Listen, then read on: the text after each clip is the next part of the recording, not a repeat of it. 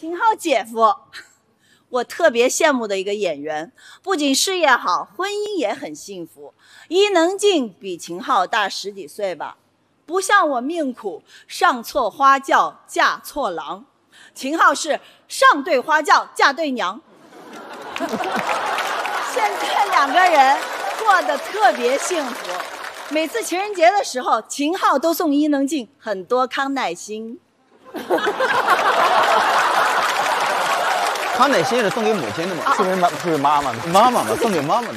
我那是真的羡慕，因为我的婚姻大家说到现在了，都说特别失败。就有网友说，你得学学伊能静，看看人家怎么经营家庭的。嘿，我就郁闷了，他这么优秀的家庭，经营的好算什么本事呢？有本事让他来我家庭经营经营，营业执照都给你吊销了。